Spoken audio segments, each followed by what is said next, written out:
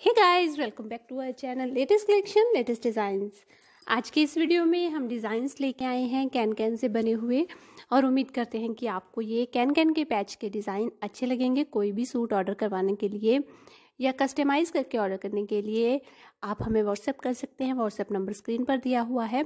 Thank you so much for watching our video bye